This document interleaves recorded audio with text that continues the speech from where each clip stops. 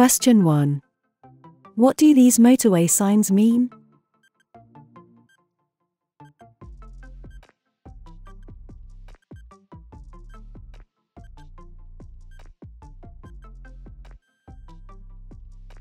C. They're countdown markers to the next exit. The exit from a motorway is indicated by countdown markers. These are positioned 90 meters, 100 yards, apart, the first being 270 meters, 300 yards, from the start of the slip road. Move into the left-hand lane well before you reach the start of the slip road. If you want to pass DVSA theory test in first time, you can download our iOS app. App contains 2500 DVSA test questions, 250 hazard perception videos, 630 traffic road signs and 300 highway code rules. Even 98.50% people pass their test first time after using our app. You can find link in the description. Download app for free from App Store which contains latest 2024 material licensed by DVSA authority. Get 3 days free trial for a limited time. Let's get back to the video. Question 2. What will be a serious distraction while you're driving?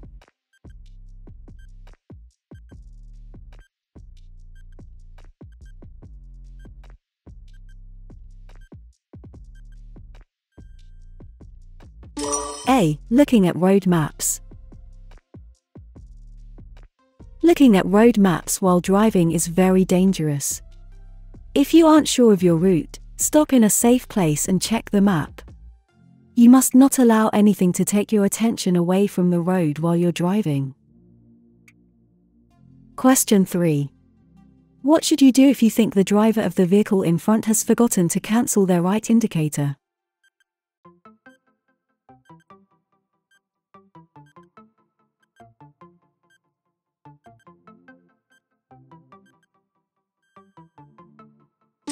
D. Stay behind and don't overtake. Be cautious and don't attempt to overtake.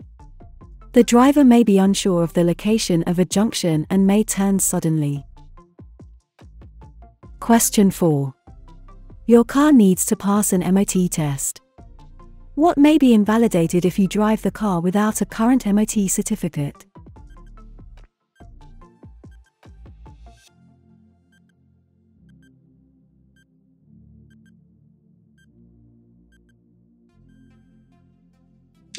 B. The vehicle insurance. If your vehicle requires an MOT certificate, it's illegal to drive it without one and your insurance may be invalid if you do so. The only exceptions are that you may drive to a pre-arranged MOT test appointment or to a garage for repairs required for the test. Question 5. You're going through a long tunnel. What will warn you of congestion or an incident ahead?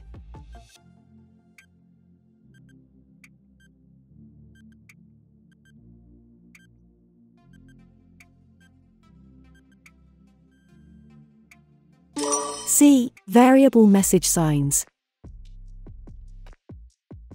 Follow the instructions given by the signs or by tunnel officials. In congested tunnels, a minor incident can soon turn into a major one, with serious or even fatal results. Question 6. When should you use your vehicle's horn?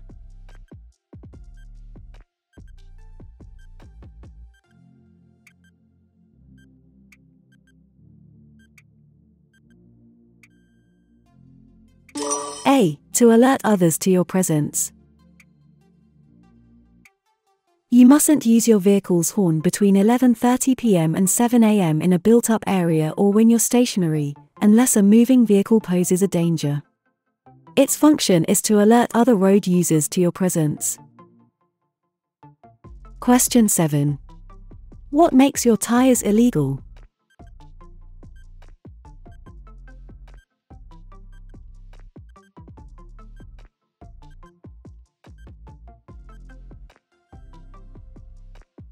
B. If they have any large, deep cuts in the sidewall. Your tires may be of different treads and makes. They can even be second-hand, as long as they're in good condition. They must, however, be intact, without cuts or tears. When checking the side walls for cuts and bulges, don't forget to check the side of the tire that's hidden from view, under the car. Question 8. You're joining a motorway from a slip road. How should you deal with traffic already on the motorway?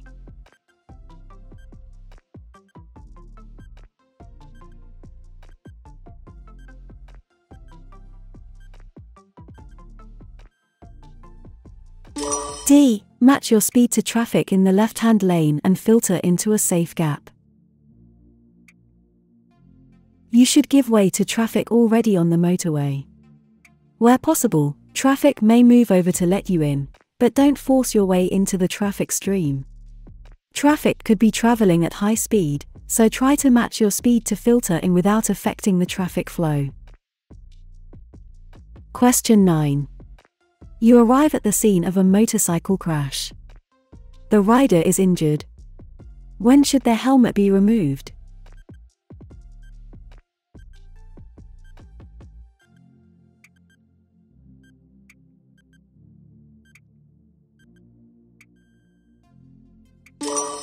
Only when it's essential.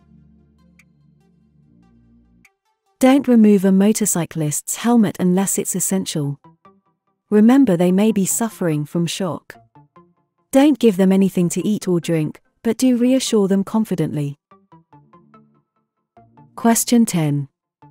Who's responsible for making sure that a vehicle isn't overloaded?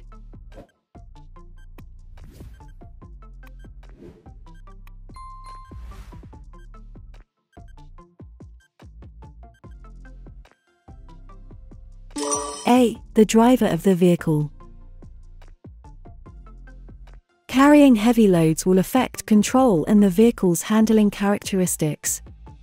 If the vehicle you're driving is overloaded, you'll be held responsible. Question 11.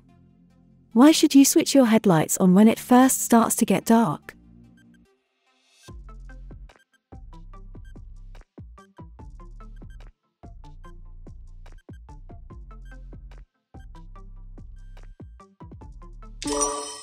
So others can see you more easily. Your headlights and tail lights help others on the road to see you. It may be necessary to turn on your headlights during the day if visibility is reduced, for example, due to heavy rain. In these conditions, the light might fade before the street lights are timed to switch on. Be seen to be safe. Question 12. How much can stopping distances increase in icy conditions?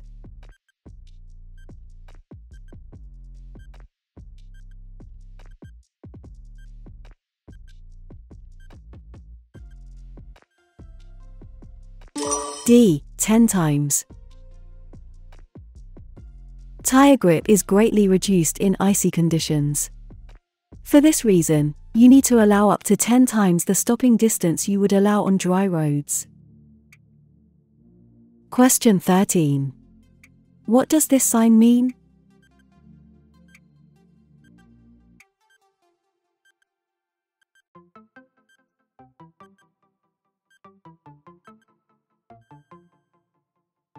D. Water across the road. This sign is found where a shallow stream crosses the road.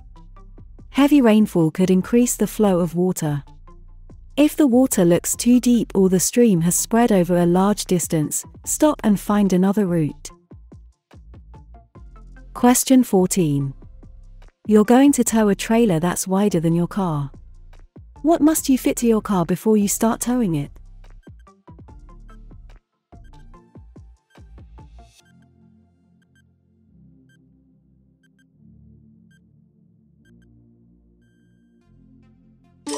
Exterior towing mirrors. You must fit exterior towing mirrors to your vehicle if your vehicle is narrower than your trailer or load your trailer or load obstructs the view behind you. Question 15. At an incident, a casualty is unconscious but breathing. When should you move them?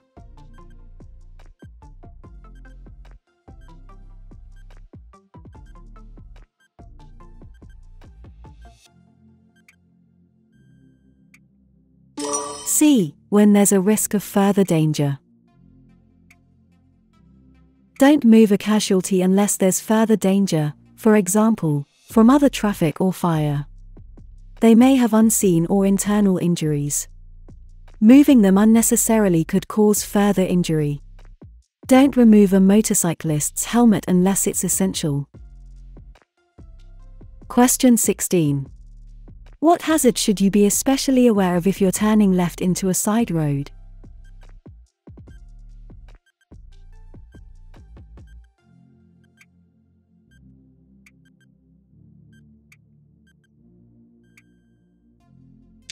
B. Pedestrians. Make sure that you've reduced your speed and are in the correct gear for the turn. Look into the road before you turn and always give way to any pedestrians who are crossing. Question 17. What should you do when you're approaching roadworks on a motorway?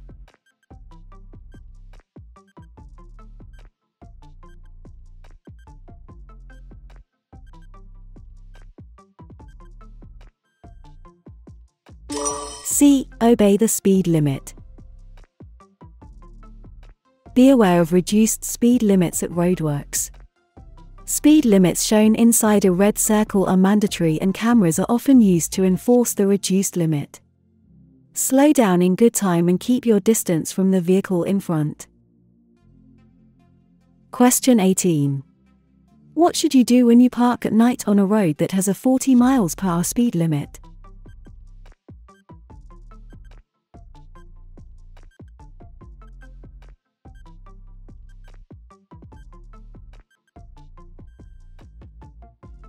B. Leave parking lights switched on. You must use parking lights when parking at night on a road or in a lay-by on a road with a speed limit greater than 30 miles per hour. You must also park in the direction of the traffic flow and not close to a junction. Question 19. What will happen to your car when you drive up a steep hill?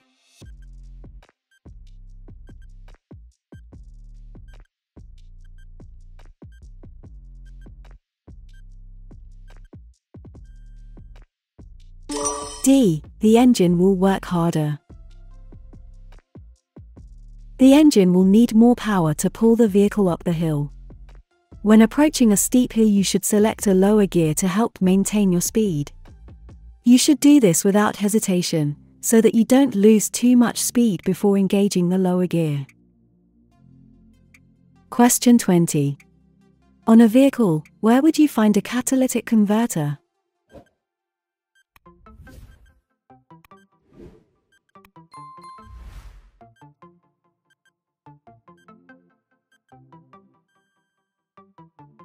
D. On the exhaust system. Although carbon dioxide is still produced, a catalytic converter fitted to the exhaust system reduces the toxic and polluting gases by up to 90%. Question 21. You're driving in traffic at the speed limit for the road. What should you do if the driver behind is trying to overtake?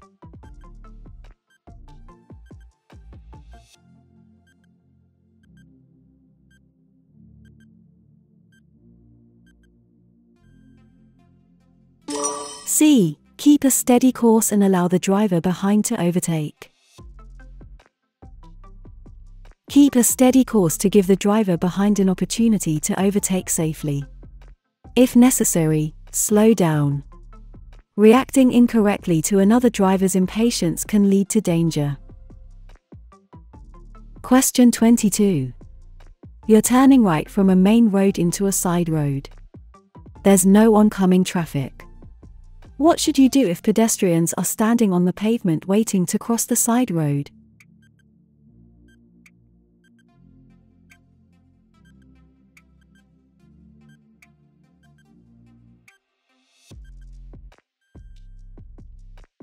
C. wait and give way to the pedestrians.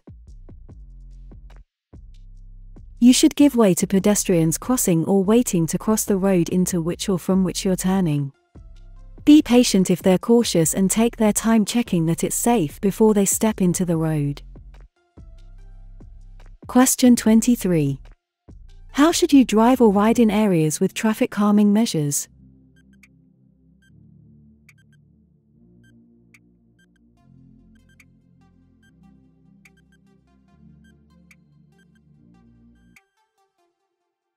A. At a reduced speed. Traffic calming measures such as road humps, chicanes, and narrowings are intended to slow traffic down to protect vulnerable road users. Don't speed up until you reach the end of the traffic calm zone. Question 24. When may you use hazard warning lights?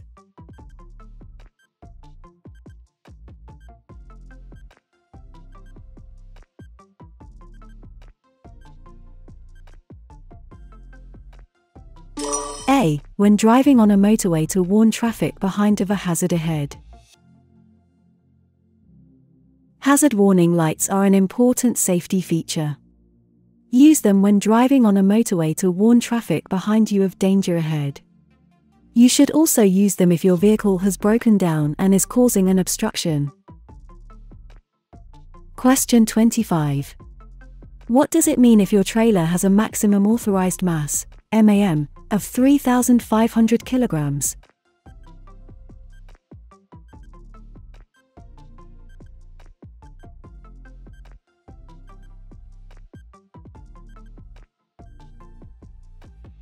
D. Your trailer and load combined cannot weigh more than 3,500 kilograms. The MAM of the trailer is stamped on the plate fitted to the chassis. It is the maximum weight of the trailer and load that the manufacturer has designed it to carry. Do not load your trailer so that it exceeds this maximum weight. Question 26. When may you cross a double solid white line in the middle of the road?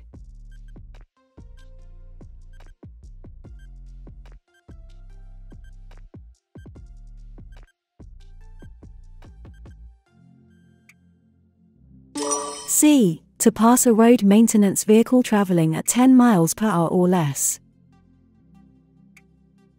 You may cross the solid white line to pass a stationary vehicle or to pass a pedal cycle, horse, or road maintenance vehicle if it's traveling at 10 miles per hour or less. You may also cross the solid white line to enter a side road or access a property. Question 27. What must you do when you hitch a trailer to a towing vehicle?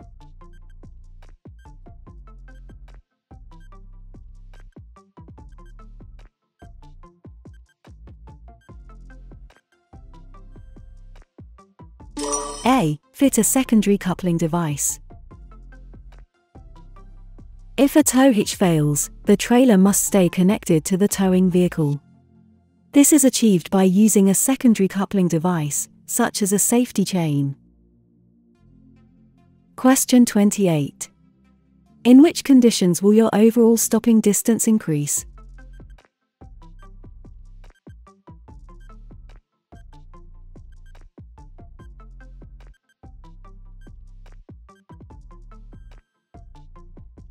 A. In the rain. Extra care should be taken in wet weather. On wet roads, your stopping distance could be double that in dry conditions. Question 29. You stop on the hard shoulder of a motorway and use the emergency telephone.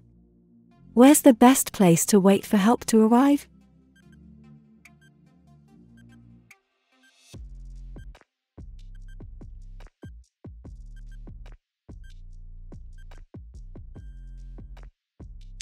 B. Well away from the carriageway. When you're on the hard shoulder, you're at risk of being injured by motorway traffic. The safest place to wait is away from the carriageway, but near enough to see the emergency services arriving. Question 30. What would you expect to find at a contraflow system on a motorway?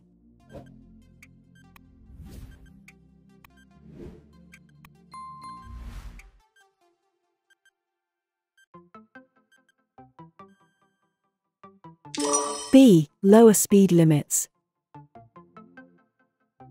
When approaching a contraflow system, reduce speed in good time and obey all speed limits.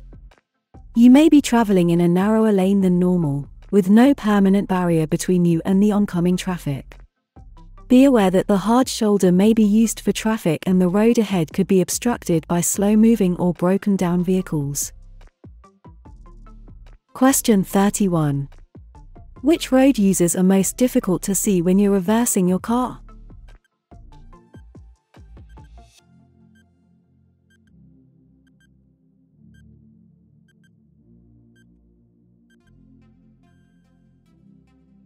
D. Children.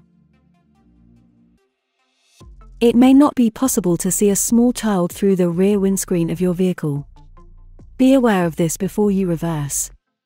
If there are children about, get out and check that it's clear before reversing. Question 32. When must you use dipped headlights during the day?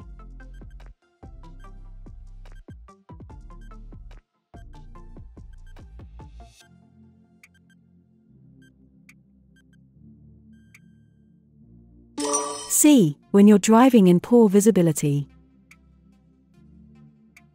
You must use dipped headlights when daytime visibility is seriously reduced, generally to 100 meters, 328 feet, or less. You may also use front or rear fog lights, but they must be switched off when visibility improves. Question 33. What should you do if you're being followed by an ambulance showing flashing blue lights?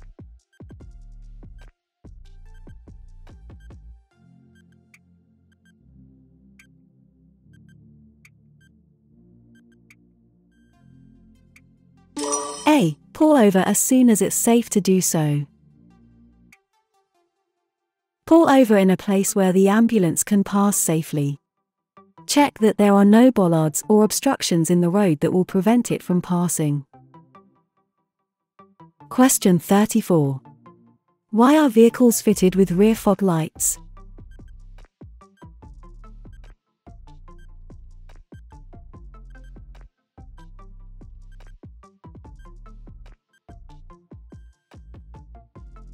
C. To make them more visible in thick fog.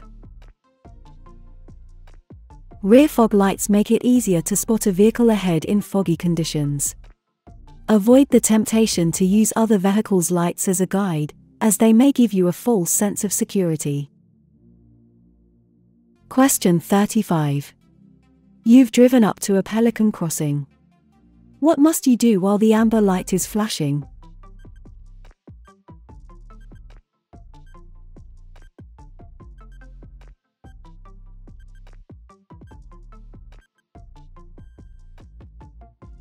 C. Give way to any pedestrians on the crossing. The flashing amber light allows pedestrians already on the crossing to get to the other side before a green light shows to the traffic. Be aware that some pedestrians, such as older people and young children, need longer to cross. Let them do this at their own pace. Question 36. You're on a three lane motorway. Which lane are you in if there are red reflective studs on your left and white ones to your right?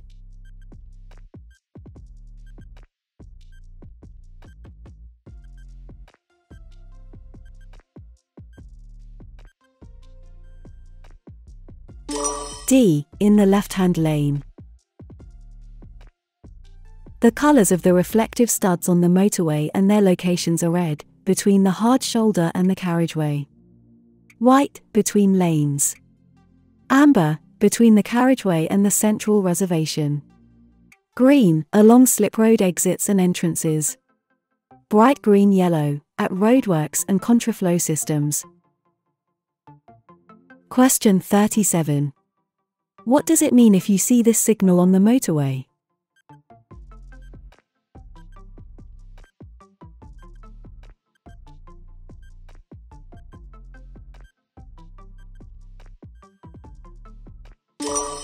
Leave the motorway at the next exit.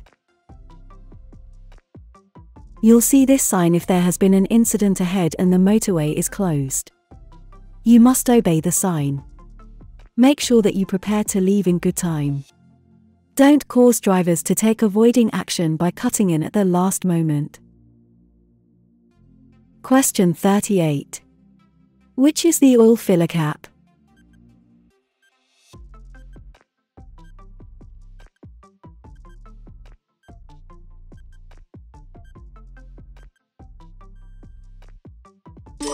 C. Next to the oil cap there should be the dipstick which you use to check the oil level. Question 39. What does this line across the road at the entrance to a roundabout mean?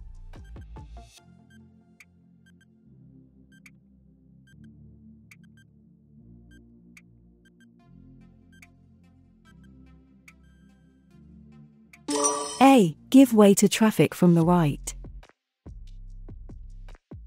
Slow down as you approach the roundabout and check for traffic from the right. If you need to stop and give way, stay behind the broken line until it's safe to emerge onto the roundabout. Question 40.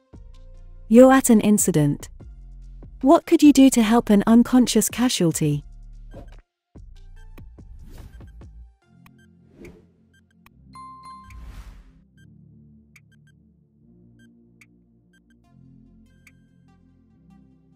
B. Check that they're breathing normally.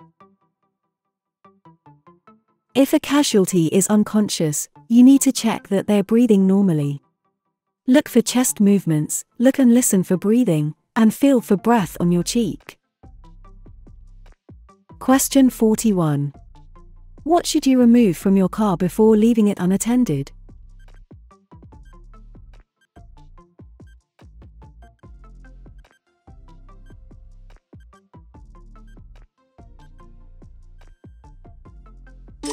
D. The vehicle registration document.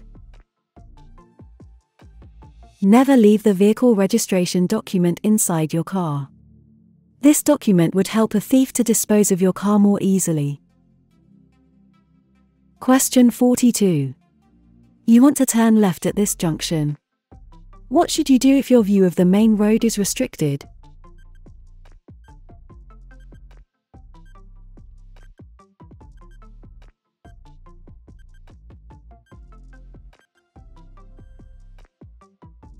D. Approach slowly and edge out until you can see more clearly. You should slow right down, and stop if necessary, at any junction where your view is restricted. Edge forward until you can see properly. Only then can you decide whether it's safe to go. Question 43. What's the speed limit for a car towing a trailer on a motorway?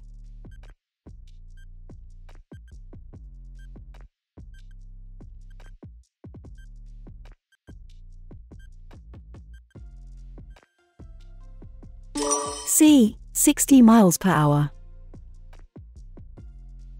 If you're towing a small, light trailer, it won't reduce your vehicle's performance by very much and it may not be visible in your mirrors. However, strong winds or buffeting from large vehicles might cause the trailer to snake from side to side. Be aware of your speed and don't exceed the reduced speed limit imposed on vehicles towing trailers. Question 44.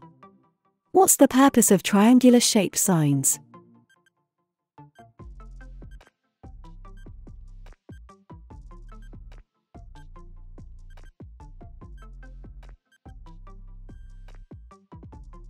A. To give warnings.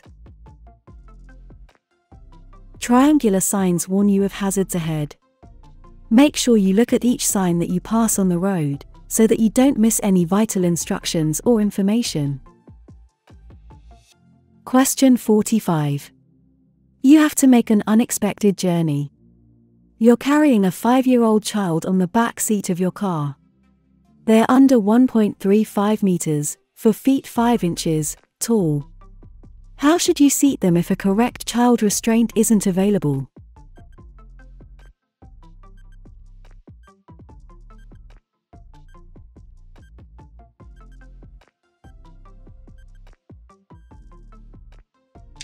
B. Using an adult seat belt.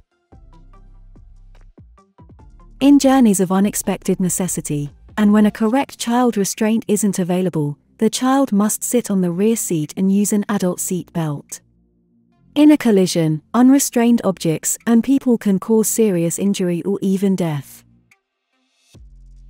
Question 46. What's the legal minimum depth of tread for car tires?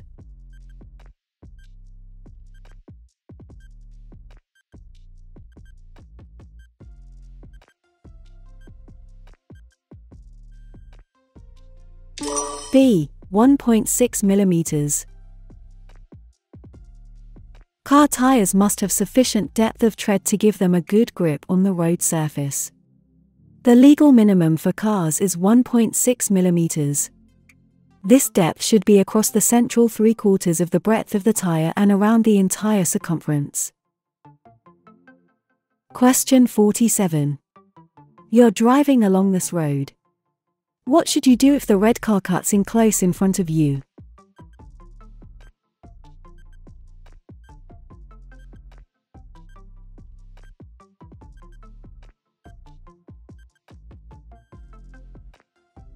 C. Drop back to leave the correct separation distance.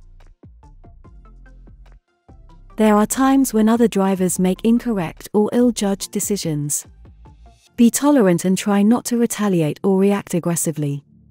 Always consider the safety of other road users, your passengers, and yourself. Question 48. A single carriageway road has this sign. What's the maximum permitted speed for a car towing a trailer?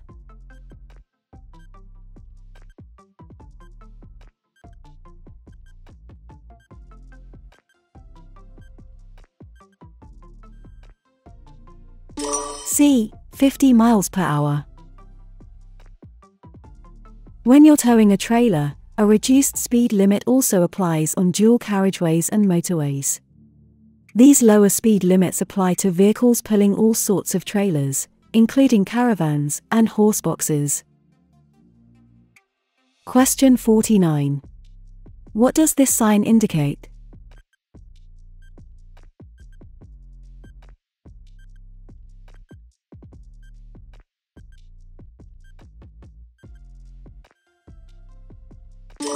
A. A diversion route. When a diversion route has been put in place, drivers are advised to follow a symbol, which may be a black triangle, square, circle, or diamond shape on a yellow background. Question 50. You're traveling at the legal speed limit. What should you do if the vehicle behind approaches quickly, flashing its headlights?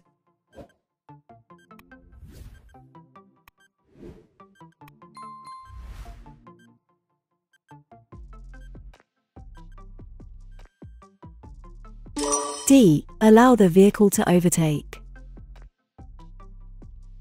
Don't enforce the speed limit by blocking another vehicle's progress. This will only cause frustration. Allow the other vehicle to pass when you can do so safely. If you want to pass DVSA theory test in first time, you can download our iOS app. App contains 2500 DVSA test questions, 250 hazard perception videos, 630 traffic road signs and 300 highway code rules. Even 98.50% people pass their test first time after using our app. You can find link in the description. Download app for free from App Store which contains latest 2024 material licensed by DVSA authority. Get 3 days free trial for a limited time.